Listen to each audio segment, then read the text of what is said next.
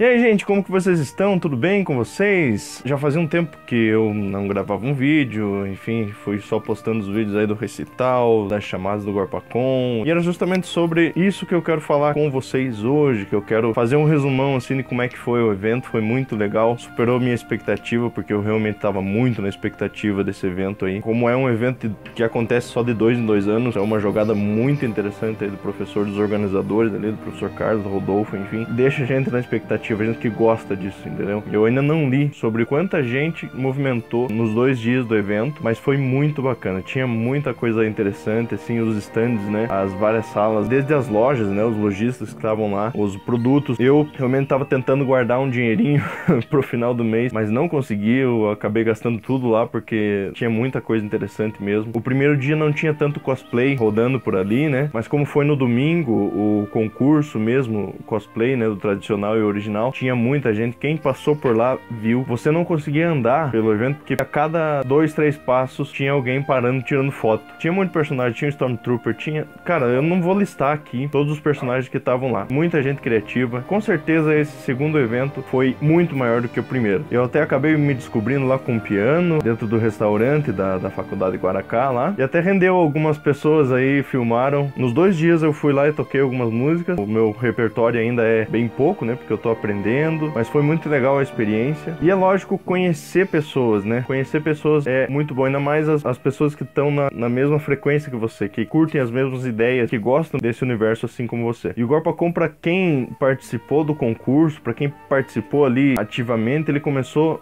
muito antes. Desde ali a preparação da vestimenta, né, do cosplay, o estudo para você poder interpretar o teu personagem, o que que você vai fazer ali, você vai falar alguma coisa, você tem que pensar, né, em tudo que você vai fazer. No nosso caso também, a gente participou aqui com o professor Carlos como diretor, né? A gente fez algumas chamadas ali, né, pro, pro evento em si.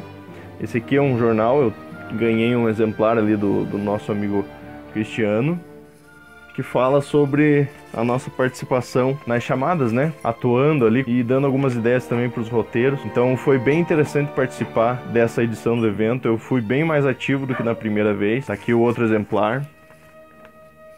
Eu vou deixar os links aqui embaixo para quem quiser ler a matéria completa. E quando chegou no sábado, no primeiro dia do evento, a gente saiu bem cedo aqui junto com o Wanderson, né, que foi de Homem-Aranha. Tava uma chuva, eu até achei que, que não ia dar muito bom assim o evento, não ia dar muita gente por causa daquela chuva, mas do mesmo jeito eu me surpreendi porque tinha muita gente no final do evento ali. Não só no final, né, conforme é, lá por umas duas, três horas da tarde mais ou menos começou a movimentar aquela aquela faculdade e nos dois andares tinha bastante gente. E gente parava para tirar foto com o Homem-Aranha, parava para tirar foto com o Justiceiro, parava para tirar foto com o Homem de Ferro. Então, quem estava ali naquele mundo esqueceu do mundo lá de fora e com certeza aproveitou bem o evento. E agora, ficar aí na saudade, esperar mais dois anos, né? E eu vou deixar com vocês aí algumas fotos e alguns vídeos né, da nossa participação ali, de tudo que a gente encontrou de mais legal no Gorpacon. Se você foi, muito bom. Se você não foi, espero que você consiga dar uma olhadinha aí no que você acabou perdendo.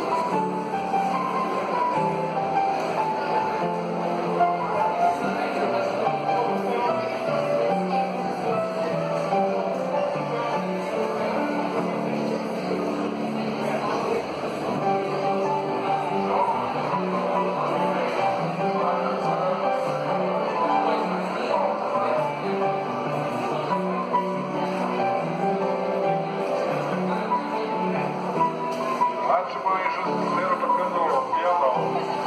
Homem-Aranha, Peter Parker filmando.